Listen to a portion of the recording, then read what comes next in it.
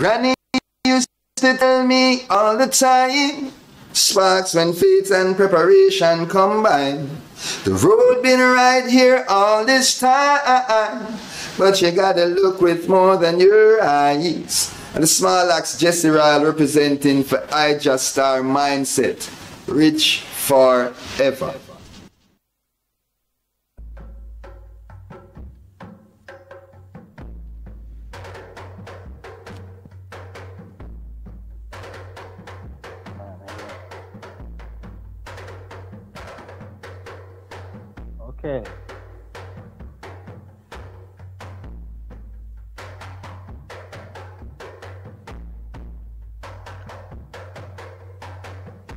You did it, General.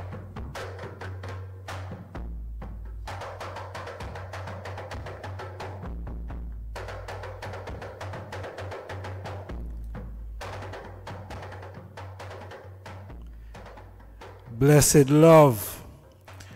Yes, One family. welcome, honorable family. One for greet the item officially in the divine name of His Imperial Majesty, Emperor Haile Selassie the First, and also Empress Menen the First, Holy Emmanuel I, King Selassie I, Jah, Rastafari. Rastafari.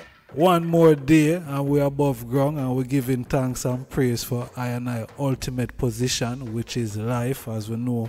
Not no greater than that, no matter what go on. Zine, life is our ultimate position. So, honorable family, please push that like button before we proceed. We have a very um, powerful reasoning lineup for the item today. Zane, we're all the way in in Jamaica. Zane, and a very special place in Jamaica. We are linked up today. Uh, we have a, a very powerful virgin on the line, Zane. Um, a virgin that I know for a couple of years, Zane. And it's a great honor to have this virgin pan on the program today because it's not all the time we get the opportunity to you know reason with with ones like this virgin in particular.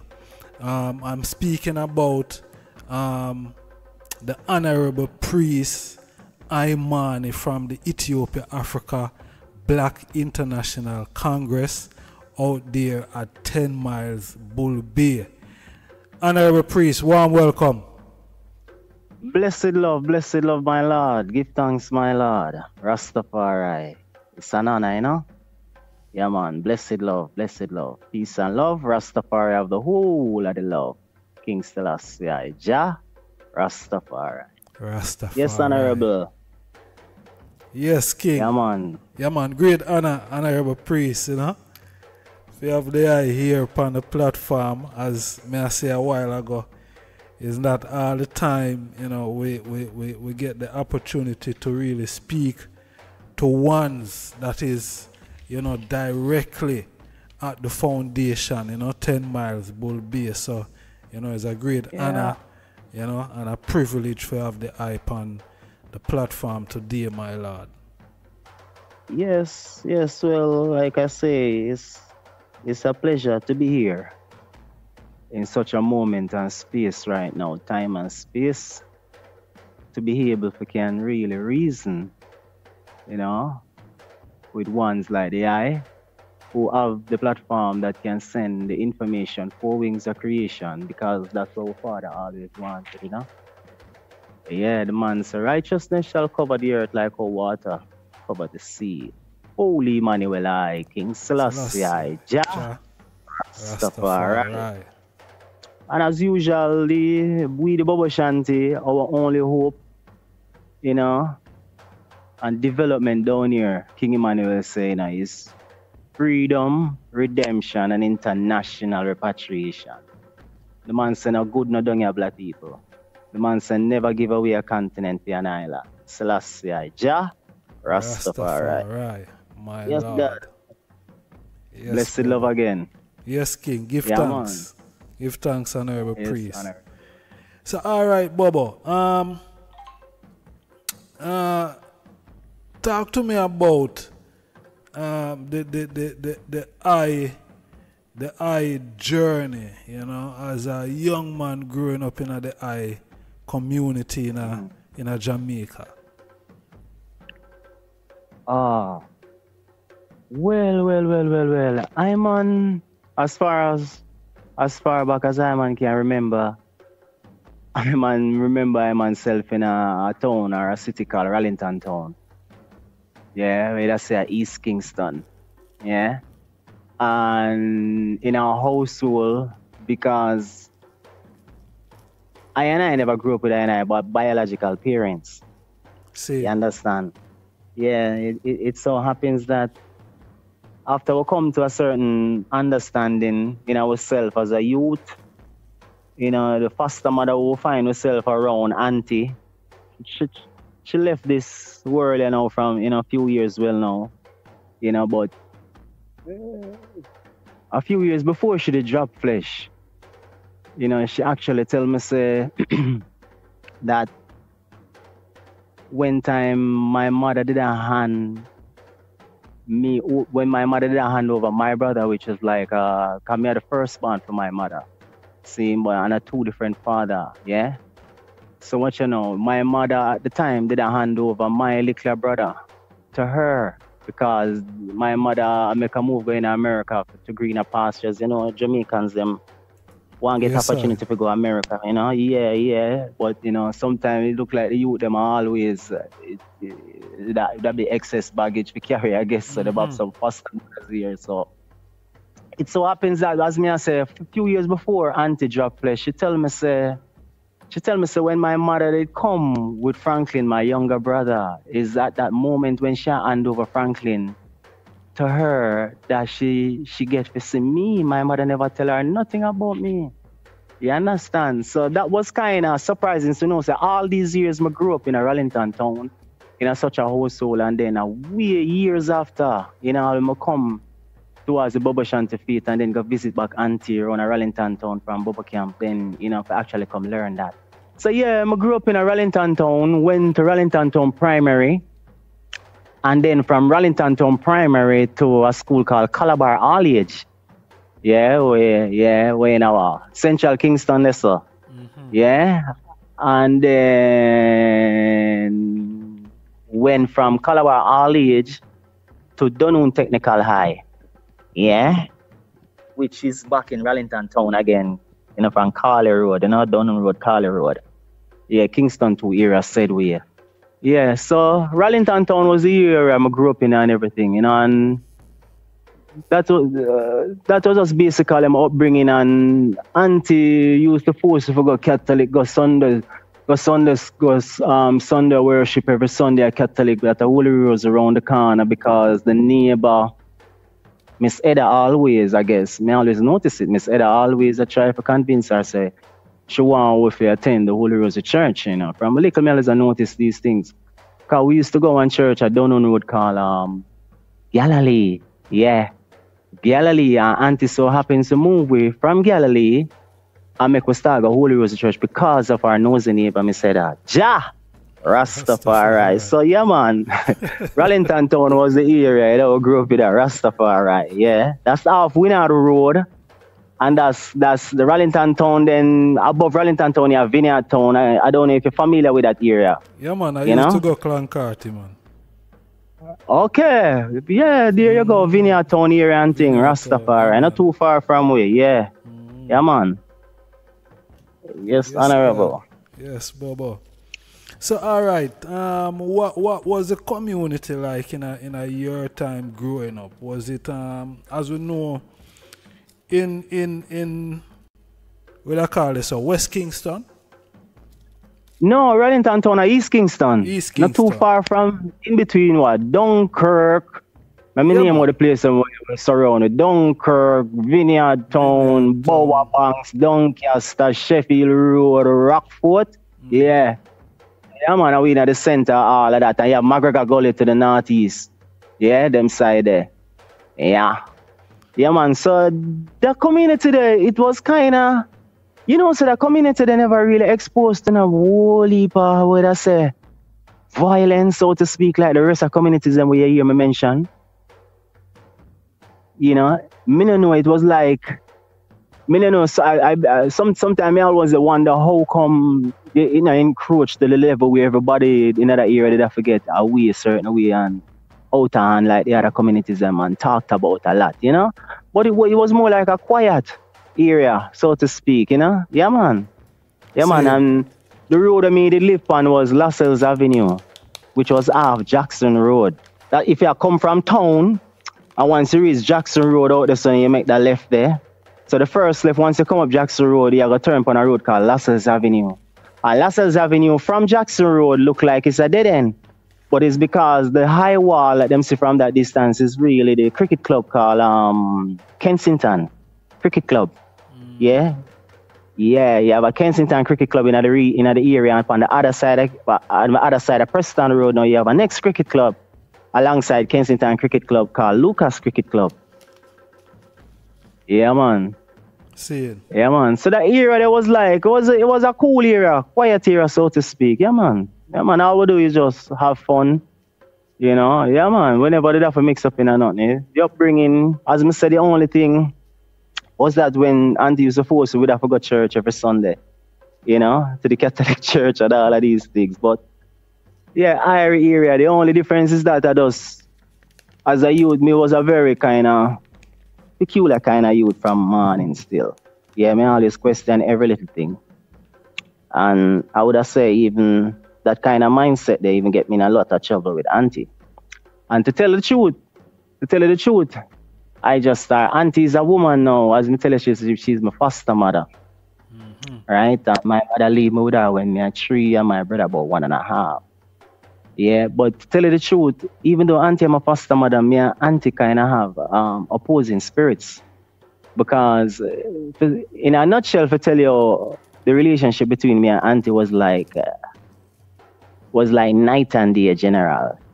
I mean, me put it on another level. Me and auntie have never hugged, even though I grew in an auntie household and everything.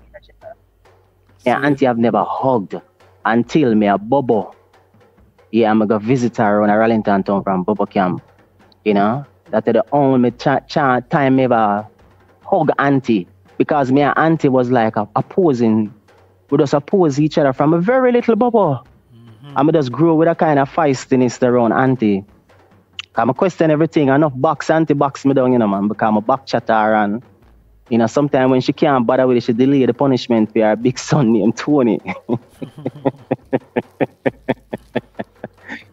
you understand them kind of vibration because I was very feisty from a little, very feisty, adorable. But as we get older in our life, we kind of realize why we was always so feisty. You see, Ja? See, see. Yeah, we go, yeah, as we get older in our life and we come to God, we, we get to comprehend why our upbringing was like that and why we experience these things. You know, yeah. Mm. Yeah, man. Yes, I. Yes, I. So that are the, the journey before um, Rastafari. They, they, um, they did, did, did ever involved in, in, in a music at any point? Yes, actually, in a general, yeah, man. Mm-hmm. The music world. Yeah, because from a youth, from a youth, we didn't always aspire to be great, you know. We didn't want to be great in anything we will become. I mean, from a youth, we didn't know that there was a God, you know, that God exists, you know. But the thing is that, and we also didn't know from where youths, uh, we could have feel in providence, in all, we could have feel the power of God, but the thing is that we never knew who God was. See. Yeah, but we grew up with that kind of vibration around we I always feel like say there is a power, there a lookout for you. Yeah, but that doesn't mean like, you know, all the way you can do anything and expect say, yo, you know, everything must be like must be blissful despite uh, your attitudes if they're not right. You understand? No. You know, you still have to be responsible. So all them things that kind of grew me for me realize uh, whatever power that there was, that God power, it, it it it really was there for a special purpose and it was something we have to in tune to. But like I say, when we are youth, we never know exactly who was the power, who control the power, what, but we knew it existed because we always feel it around we. You know, but kind of just like we made a reason yesterday and we that talk about how we communicate with the spirit. And I mean, the world I was brought up into only taught us see things on a material level, you know, when um, everything that's material, I mean, is all an illusion because it it's temporal, it only lasts for a time. But how do we actually communicate with the spirit? It's the same thing from me, youth, me, I grow, I always know, say, that power exists, which is God. So as you grow into, and I grew up now, and the music kind of help influence with certain way too because it was the thing where we are here every day on the radio, bombard the radio every day. You understand? So the music, we get influence from the music. Yeah, and the thing what it influence about the music is that we always used to wonder the voices and the singing. You know, you always, me always have a kind of a feeling towards it, like me feel like me to come to something like such a same thing, just the same. Somebody kind of did from a very early age start to sing the song them on the radio and I follow them and all of these things until so, we decide ourselves so we want to be a singer. So even at the very community of Rollington town, the two, you know, stage shows and talent shows, we enter them and you know, win all trophies too, yeah, and all of these things. We we, we even compete, try it and go as far as this this talent and never make it. You understand? And we try all different kind of way to try to get a way for to be exposed innocently because we know we have the ability to become, like I say, we have the ability and the confidence to become anything we want to become. From that age, we wanted to become a singer too. And we tell ourselves, say, yeah, we want to be one of the greatest singers in the world. Yeah, that's so far i'm used to have the mindset, you know, because we know we have the ability to become anything we want to become. Natural. But as as things evolve and we go studio and I hang out at studios and you know over a period of year few years is like from from used to the hang out we start at Arrows because Arrows never too far from me in front of Bellevue there so you understand? So I will move from Arrows to and one of the time we about Anchor you know. I will go a few more studios till one of the time we end up all of uh, well, a fifth element was after I get the chance to go to America forward. But prior to all of that, I mean, we did just only that, uh, and we start so we write songs too because we start to notice uh, that the writers them is just as important as the singers. So what else? What what happen now if you can both write and sing at the same time? So we start do a lot of writing to and you know. Uh, and and while we are right and I develop that skill to we also hone the singing talent to and all of these things. But you know, after a while we get an opportunity to go America. See? Which was in like in late ninety four. Yeah. And I'm going to tell you the truth too, is actually buy what buy what we go America. You know, there was like people that was that was that was like about to from you have a money and you can get a passport. That's how we get to go America. It's not like any of my relatives and buy the I money. You understand? Um, I know buy a way go America, yeah, and travel on a passport and a different name. Uh, my picture was inserted because it's not the passport like now. Yeah, which is more computerized and AI controlled. But them passport at them time there was more like, you know, them could have take out your picture, them could have changed all your name if necessary, date of birth, etc. etc. And I saw we go through and go America. Yeah, and even when we go to America and we go amongst my mother who I've never we we not seen for much years. I even well, I must tell you that prior to me going to America, she after she left Jamaica and me over to Auntie from me tree, me and my brother Frankie. Seeing we not see me not see my mother again until when me actually I graduate from Dunoon. She came for like two weeks general and she come to the graduation ceremony and everything, which was good and everything. But the relationship between me and my mother was kind of distant because you know grow with her, you know. Yeah. She does she feel and look like uh well not really look, but more like feel like a just a regular woman. Even though yes, she's my mother, my biological mother. It was just a strange feeling and I kind of bring them kind of evidence to her to wanna show her, but but me know say, and then what, what, what, was sad about the whole situation when she came is that only two weeks she, she only come for. So it's like you know see her for about wow, 15 years of your life, Bridget, and then when she forward now what two weeks she got spend and then she got back to America. So when now me get my opportunity to go to America, as I say, pay my way and go to America now and we land there, LA, California. Even she come pick me up at the airport too. Yeah, and with the Sarah and everything. Which was a good feeling because me never grew with her. And as me tell you, the relationship between me and Auntie was very, you know, very toxic, brethren. Yes, honorable, very toxic. Up until me leave from under Auntie roof, honorable. Yes, so it, it it, it was like more now the opportunity for now to get to know my real mother, know my biological mother. So we did in a California with my mother and Ellie and thing, and then um me remember one of the times she said to me, say, So Richard, for those who do not know and listening at the moment, my real name is Richard Crawford, but I'm referred to as Priest Imani. All right. So she said to me, say, Richard, so we are gonna do now, like how you the American one thing and thing and thing. What you want for doing this and that. so I tell her, I say, well, actually, you know, you know, say music more want do because me aspire to become the singer from Jamaica and everything, me I show her and thing. And me I tell her, say, me a singer and this and that and right, right. So she says, so why won't you go to a community college? You know, there was a college not too far from Wishpa we did there. Uh, in a LA there. But no, it wasn't in LA at the time. Yeah. Orange, a place called Orange County. Yeah. See. Yeah, it was at the time. Yeah, a place called Orange County. And in an apartment, though, it's not like she have her own house or anything like that she was still uh, living in apartments all those years, which I mean, I forgot in a fair life and everything. But anyway, like me, I say, you know, with Daddy and it's like me, I tell her, say, me want, but she said she insisted why me now, she think it better for me going uh, and listen to community college, Rary, and I mean, I said, no, sir, uh, music me want, though, Rary, Rary, and this and that. So anyway, I remember her, she linked with a music teacher, one white woman, one place called Huntington Beach. Yeah. the thing was that I came from Jamaica at the time with a problem with my vocal cords, right? May I ex- explain what I mean? So you love sing soft and all is I sing on all the corner, Lascelles Avenue and Jackson Road. Yeah, uh, me never learned this until I come to America. The music teacher actually teach me this and show me them levels there. What happened is that me did a sing one at a time and it's like, me know after a while, it's like after me I try to sing and I try to hold the, night, the notes, so me used to hold my fine notes, so them I crack. So it looked like something did wrong with my vocal cords or something.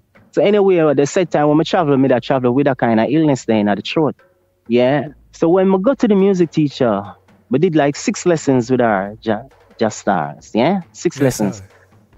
And um, by the third lesson, because she after when we meet her the very first time, cause my mother call her and everything, I would talk on the phone and everything, and we get the location, and then white people, everything in the neighborhood. She have this grand piano in our house and everything.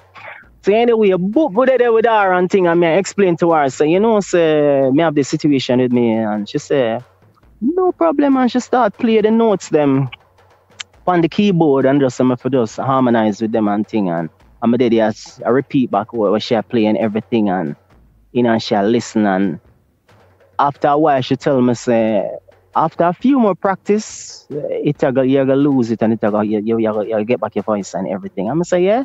So she made me feel good and me She said I know. So me I said well.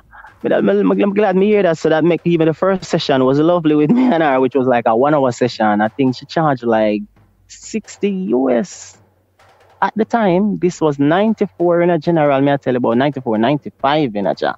See I, I, I, I'm trying to remember it was 60 US she charged for the hour because she was like a good teacher, well known, well renowned teacher. But anyway, as I said, I did like six lessons with her. But remember while in the um the couple of couple of more lessons, we should just record all of them and she tell me say when I go home I must play them back I must always listen to them and practice with them and everything. And then one at a time my mother know okay, I got his music store, get one guitar and then I get I get some some books some beginners book to actually play the guitar, etc., etc.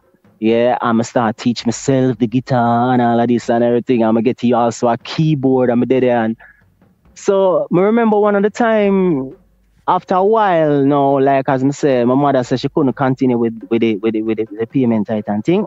Cause I guess a bit stressful for her to deal with it. I guess I mean if you take up my thing and deal with my thing, you see. So anyway, it kind of stopped. But before it stopped, the lesson with me and this teacher, remember she said something to me. Yeah, she said two things to me where was interesting. One of the times she said to me, so she liked my voice. She said, I mean, I say, yeah. And she and she she started to tell me, she said to me, say, me like addiction. She said a lot of things that me like, and she, which me I pick up say, yeah, I be a wish. I say, but what, but the thing when she said it kind of make me know, so now say, with it bless certain way with what we have is when she said to me, say, yeah, me like addiction, you know, your addiction is very clear, yeah. And she said, the way I'm sing, she said, I sing like Nat King Cole. No, me didn't know what was yeah. me didn't know what hear when she said that. No, me I say, yeah.